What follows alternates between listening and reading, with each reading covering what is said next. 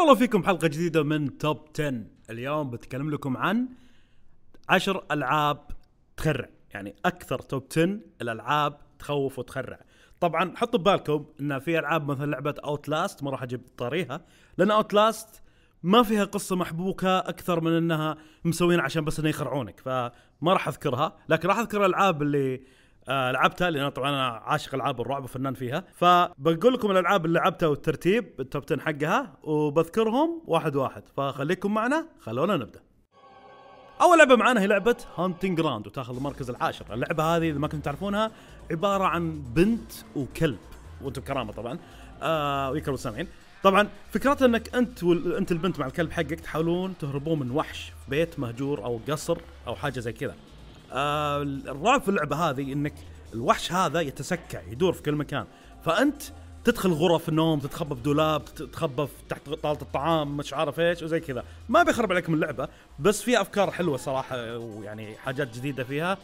آه وقتها كانت من الأشياء الرهيبة صراحة اللي لعبتها فأنصحكم تلعبونها ثاني لعبة معانا بالمركز التاسع هي لعبة Eternal Darkness Sanity Requiem. هذه من الألعاب اللي أتمنى يكون لها remake أو يكون لها remaster على جهاز Nintendo Switch لأنها لعبة سواها فريق Silicon Knights على جهاز ال GameCube هذه اللعبة من الألعاب القليلة اللي تخليك أنت كلاعب تت... يعني تحس باللعبه نفسها. أنا أقول لكم كيف. يعني مثلا اللعبة عبارة عن تلعب شخصيات منوعة كل شخصية تكون لها في عصر معين.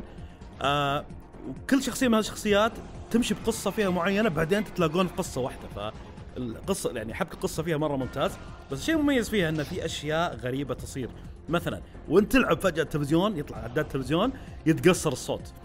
انت تقول وش السالفة؟ ما قصر الصوت. بعدين تتغير القناة. بعدين يتغير اللون. عرفت؟ يجيك أشياء زي كذا. فكل ما اللاعب حقك يتعب نفسيا داخل اللعبة يتغير أشياء كذا حوله. الصوت يصير مو واضح يعلى ويقصر الألوان تروح الألوان ترجع تتغير القناة. هذا الأشياء الحلوة اللي كانت تميزها إن أنت كلاعب بتحس بالأشياء هذه. وعندنا برضو لعبة Condemned Criminal Origins هذه على المركز الثامن. هذه اللعبة صراحة وقتها كانت من الألعاب آه هي لعبة منظور أول والميزة اللي فيها إن قصتها مرة مرة وحشية ومرة آه غامض يعني مرة dark قصتها واحد قاتل ما متسلسل serial killer يذبح بنات بس إيش يسوي فيهم؟ يخ يعني يخليهم دمى طريقة وحشية وبشعة واللعبة توريك شلون.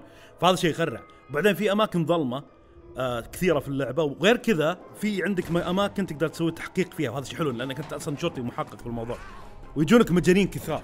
فالمجنون هذا ما تفرق معه يمسك حديده يفلق رأسك عادي. اللعب فيها كم مره ممتع القتال فيه ممتع انصحكم تلعبونها والمركز السابع معانا لعبة Silent Hill 2 أنا من عشاق لعبة Silent Hill صراحة أعتبر Silent Hill 2 من أفضل الألعاب قصصيا فيهم. والرعب فيها أعتبر رعب نفسي أكثر من رعب آه، حسي أو رعب انه شيء يخرعك. ليش؟ لأن القصة فيها يعني إن قصتها طبعا البطل جيمس انه راح مدينة وجته رسالة من زوجته الميتة ويحاول يكتشف إيش سالفه الرسالة هذه. ما بيحرق عليكم أنا بس في أكثر أشياء كثيرة تجي في اللعبة آه مقاطع كثيرة تكون تفكر فيها يعني أنت بعدين يعني ألعاب لحسة لعبة لحسة لعبة سنتين معروف عنها إنها تغلغل في داخلك آه النفسي أكثر من المعنى. فأنصحكم تلعبون اللي ما لعبها. المركز السادس معنا لعبة دوم 3 دوم 3 هي اللعبة اللي نزلت بعد دوم 2 دوم 2 نزلت من زمان على أجهزة قديمة. نزلها أكثر من remaster فيها على جهاز PlayStation 64 بعدين فجأة نزلوا لك لعبة Doom 3 على ال Xbox وال PC Doom 3 ميزتها أنها أولا حطت فكرة ال ambient lighting اللي تخليك عند الإضاءة تكون يعني عندك هي طبعا لعبة منظور أول زي زي القديمة لكن عند الردهات تكون ظلمة يكون النور خفيف خافت كذا.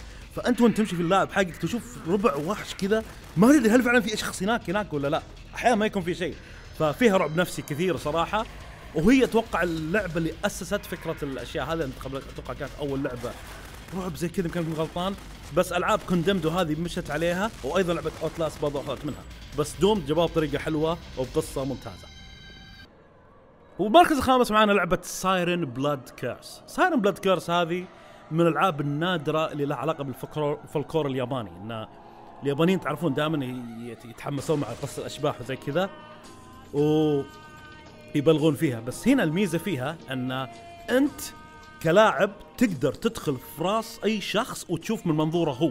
فلما تصير منظوره هو فتقدر تحل ألغاز كثيرة. مثلا آه واحد كان بيسوي حادث بالسياره حاجة زي كذا فأنت تروح تدخل بمنظوره وتحاول إنك تبعد عن هذا الحادث حاجة زي كذا. هذا هذا بشكل مبسط يعني هي صراحة معقدة اللعبة. فاذا تحبون العاب الرعب تستمتعون فيها ألعبوا Siren Blood Curse أو الجزء الثاني لها برضه نزل على Siren أو Siren 3 في لها اجزاء ثانية نزلت بعدها. ومركز الرابع معنا Resident Evil 7 هذه اللعبة صراحة أنا جربتها على ال VR وقمط بالعافية. لعبة تخوف بمعنى الكلمة. حتى أذكر مرة رحت بيت وجاني وحش كذا حشرة قعدت أنا كذا بزاوية قعدت اصيح أبكي مع نفسي. اللعبة تخرع ب ال VR تخرع. ما أدري عن غير VR أنا أتكلم عن تجربة شخصيه ال VR مره تخرع اللعبة. آه طبعا قصتها حلوة صراحة عجبتني أنا والأفكار وكانت إعادة لألعاب Resident Evil إنك ترجعك للأساس حقها فهذا كان شيء مرة ممتاز. فاللي ما لعبها يلعبها. صدقوني بتعجبكم. المركز الثالث معانا لعبة Dead Space Dead Space من الألعاب النادرة اللي اللي عندها رعب وفضاء. شيء مو مو مرة يتجمع. يعني تقريبا Alien خلينا نقول هي اللي أسست هذا الشيء. بعدين Dead Space فكرتها أنك أنت واحد ميكانيكي أول يوم جاي تداوم أو مهندس أو حاجة زي كذا. وعلى ط... ورحت محطة فضاء وهذه محطة فضاء اجتاح فيها وحوش يخوفون بشكل غير طبيعي.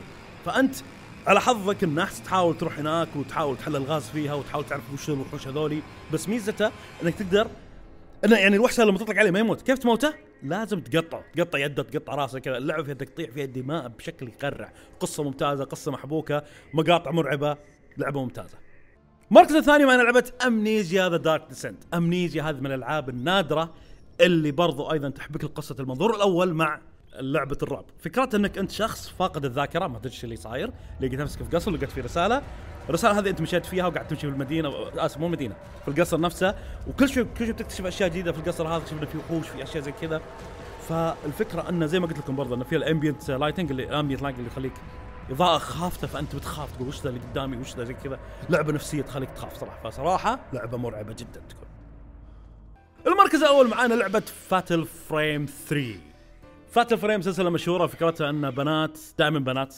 في أولاد يجون يقطون وجههم كذا. فتره فتره بس أساسا هو بنات الأبطال أو بطلات خلينا نقول. معهم كاميرا. الكاميرا هذه هي تصيد فيها الأشباح. طبعا لما قلت لكم تصيد الأشباح عرفتوا اللعبة هذه. آه أنا لعبت كل أجزاء فيها وصراحة أخترت الجزء الثالث الثلاث أسباب. أول شيء إن فيها دمى. أنا أخاف من الدمى ما أدري عنكم تخافون من الدمى ولا لا بس أنا أعتبرها شيء يخرع مرة بشكل يخوف. فمرة كنت ألعب أنا وكانت في دمية جالسة. دمية جالسة يعني زي أي لعبة ثانية بتقول دمية جالسة خلاص عرفت؟ طلعت تقول ما في شيء. فأنا طلعت الدميه هذه اللي ترفع راسها وتطالعني قلت what يعني في في أشياء تخرع. والوحوش هذول الأشباح يخرعون برضه إنك تصيدهم زي كذا. فجأة يطلعون لك آه وفي قصة جدا محبوكة ومرة ممتازة. فاعطيها المركز الأول أنها فعلا هي اللعبة اللي تخليك تقعد توسوس في الليل تفكر وفي أحد وراي ولا لا. هذه كانت ال top 10 للألعاب المرعبة آه، جبنا لكم إياها. آه، وعطونا رأيكم فيها. وسامحوني إذا أنا نسيت لعبة حط اكتبوها تحت في ال comments والألعاب واحد من الألعاب هذه اعطونا رأيكم فيها وناقشوها تحت. وأعطونا أفكار ثانية حق ألعاب top 10 ثانية أو أفكار حقت حلقات top 10 ثانية. كان معكم بعد الشيحه شكرا في True Gaming مع السلامة.